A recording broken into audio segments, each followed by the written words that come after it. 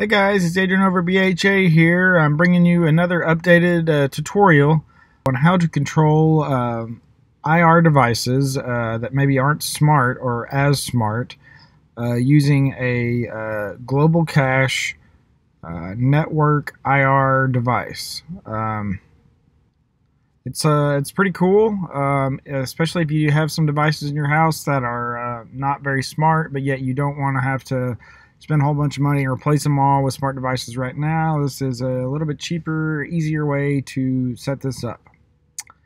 Uh, so let's get started. At my house, I use the Global Cache WF2IR. Uh, um, it's a wireless infrared network device.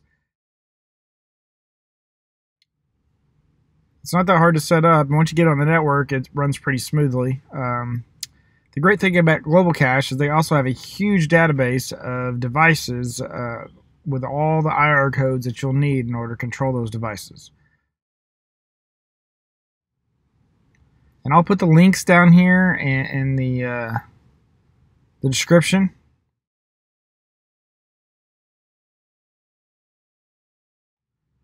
So when you first go to this website, you have to set up an account.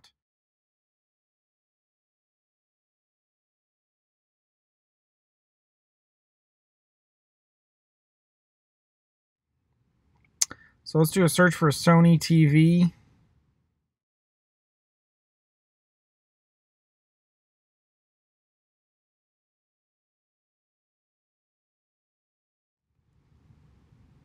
And well, I mean, it doesn't really matter. I'm just going to look for one in here.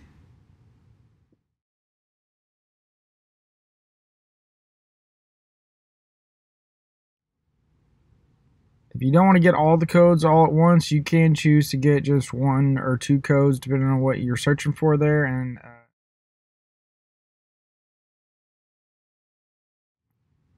then we can go over to our inbox and our email and let's see what those codes look like. So just to give you an idea here, I just uh, requested all the codes for that device and you can see here it's listing them all out one by one. And we'll be able to use those codes in our Home Assistant configuration.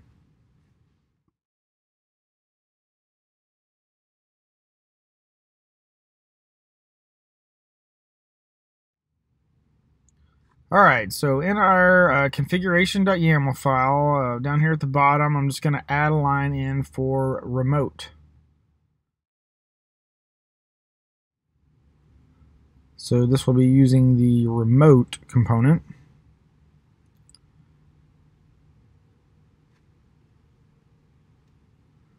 Uh, platform will be iTach.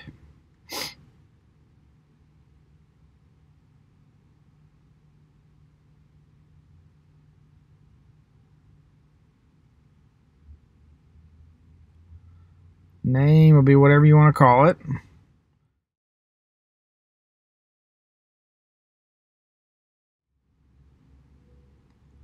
Uh, host is the IP address of that uh, global cache device.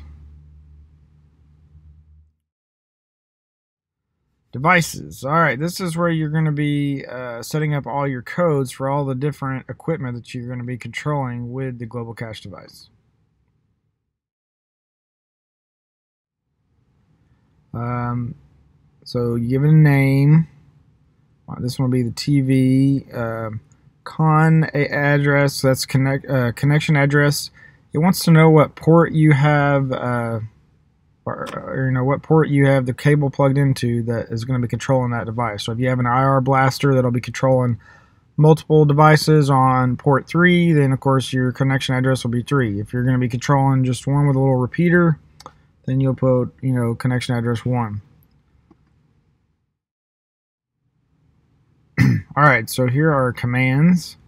These are all the commands that we're going to configure for the TV. So let's do one. We're going to call it on. And uh, data, this will be where we put in the IR code. Just going to copy and paste it in there from the email.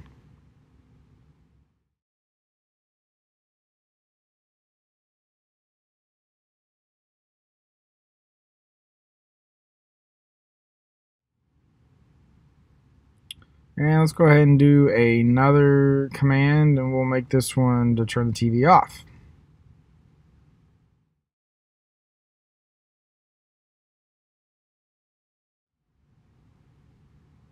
Again, we're just going to copy and paste this in there.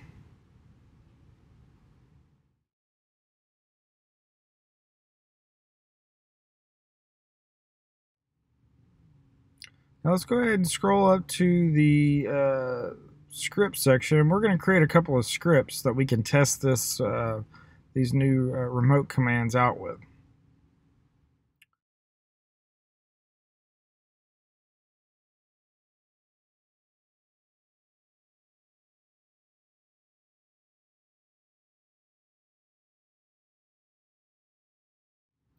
So I'm going to create one called TV on.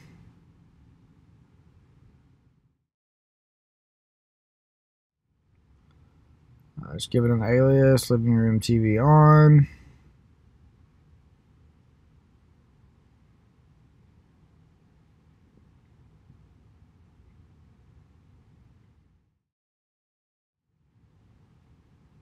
Service uh, for these will be uh, remote dot send underscore command.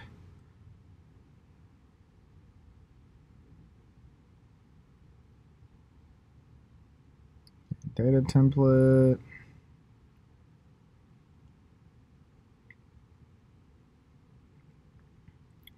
All right, the entity ID will be the remote we just set up, so it'll be remote.tv.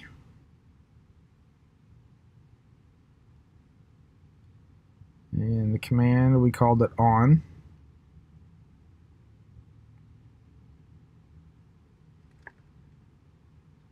And then again, we're just going to list that uh, device again. We'll say remote.tv.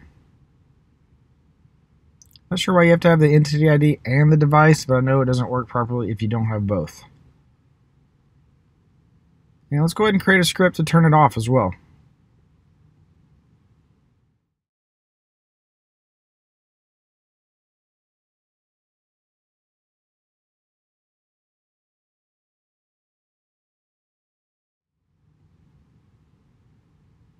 So we'll do the same thing. Alias, uh, living room, TV, dash off.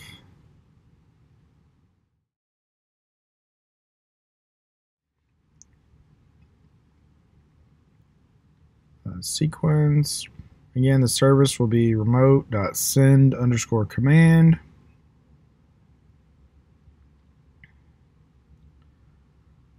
Data template.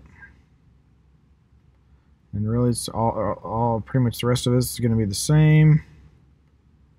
It's the ID will be remote.tv.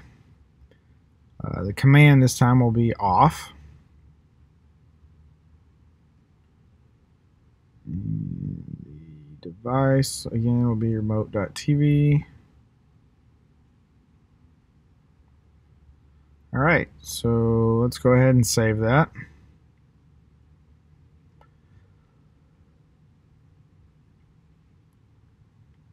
And we will restart Home Assistant for those changes to take effect.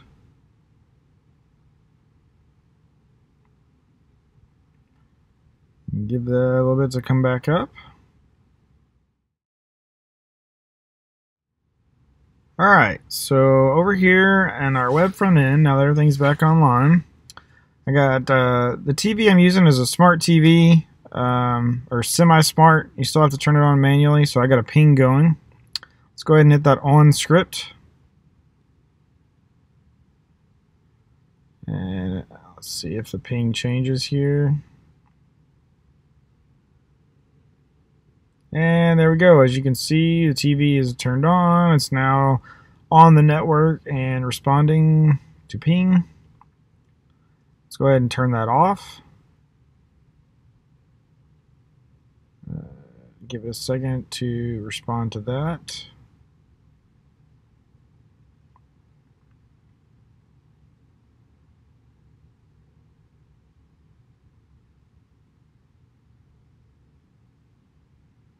And as you can see, the pings have stopped, uh, so it's not getting a response back anymore, so it looks like it is pretty much done.